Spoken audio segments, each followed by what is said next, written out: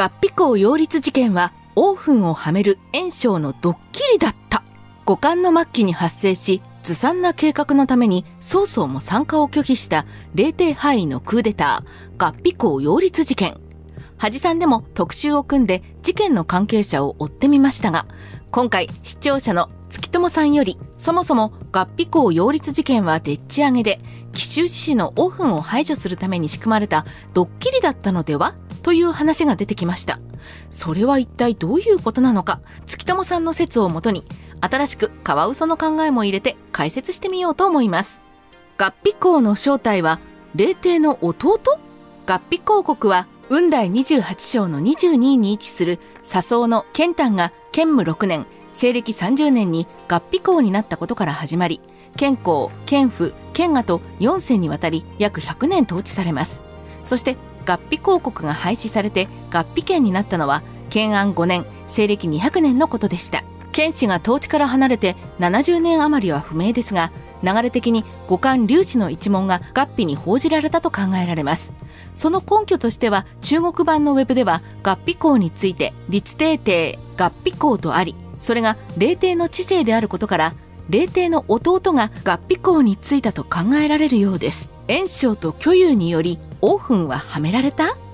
さて現職の奇襲志士だったオーフンがクーデター失敗を受け自殺したのは中平5年188年で翌年には廃するまでもなく霊帝が崩御します。そして奇襲志士の後釜に入ったのが円家の孤里だった女子中将の漢服でした。さらに合皮校擁立事件では炎章の本葬の友である巨友が暗躍しています。オーフンが自殺後円家の孤里である漢服が後継志士になり炎章の本葬の友である巨友が事件に深く関与しているのは空前にしては出来すぎです。カワウソはオーフンについてどうして炎章のような中央のパイプを利用しなかったのか。と疑問を呈しましたが最初から炎章がオーフンをはめるつもりだとすれば話は簡単です。巨友が適当にオーフンに口から出任せのクーデター計画を持ちかけ私と炎章は本葬の友ですから結婚の時は任せてください。と適当なデタラメを吹き込んだのかもしれません。オーフンは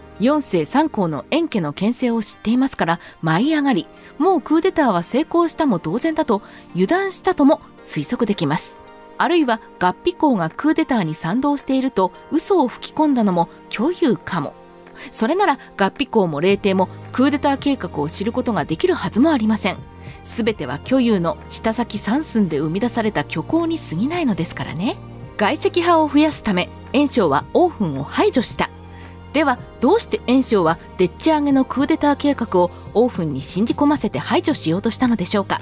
それは当時宮廷で起きていた宦官の十条寺勢力と霊帝の外籍である家臣をバックにつけた地方豪族を主とする死体府勢力の勢力争いがあったためでした。東古の金で地方豪族の勢力を封じ込めていた十条寺ですが184年の黄金の乱により地方に押し込められた死体府階級が黄金に味方することを恐れた五冠王朝は東古の金を解きます。そこから地方皇族は息を吹き返し地方間ポストをめぐりどちらも少しでも味方を増やそうと必死だったのです。十条寺は全員が烈公に上り、一族を地方官のポストにつけていて、外籍の家臣としては一人でも多く地方官を味方につけておきたいところでした。そこで、オーフンをでっち上げのクーデター計画で釣り上げ、それが頓挫したと見せかけて自殺に追い込み、後継ポストに腹心の官服を置いたという図式です。オーフンを仲間にしなかった理由は？しかし、ここで疑問が出てきます。オーフンは濁流派ではなく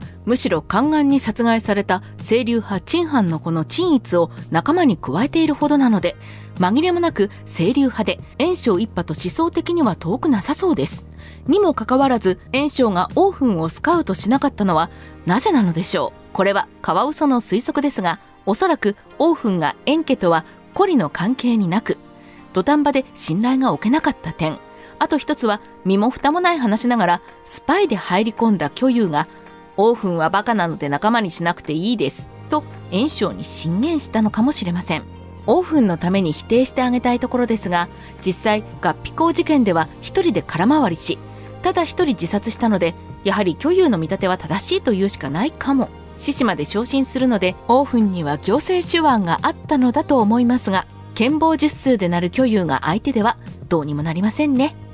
曹操はどこまで知っていたのか。では合皮校擁立事件を曹操はどこまで知っていたのでしょう。カワウソの推測では曹操はでっち上げの裏事情まで知らなかったと思います。知っていれば後年になって事件を10回することはないと思いますしあれは炎章や巨有のでっち上げと書きそうなものだからです。ですので曹操は炎章や巨有の防御には関係しておらず終生から持ちかけられた計画だけを聞いてこりゃダメだと放り出したのだと思われます。そして巨有も曹操には計画を持ち込まなかったと考えられます。もし巨有がこんなずさんなクーデター計画を曹操に持ち込んだら曹操は巨有に幻滅するでしょうしそうでなければここには何か裏があると感づくでしょう。そのため曹操に計画を持ち込んだのは同じ廃国証券出身の修正だったと思います。三国志ライターカワウソの独り言カワウソは月友さんの合皮校擁立事件でっち上げ説に納得しました。そうでなければ霊帝を廃し新しい皇帝を立てるという大逆事件が特に調査もなく首謀者一人の自殺で終わるとは到底思えないからです。やはり最初から合皮校擁立計画など存在せず巨有が炎章と示し合わせでっち上げた架空の計画でオーフンと数名の神派だけが騙され踊らされて自滅したと考える方が自然に思えます。だとしたらひでえ話ではありますけど説得力がありませんか？もちろんこれは仮説なので私はこう思うという視聴者の方がいればそちらも取り上げてみたいと思います。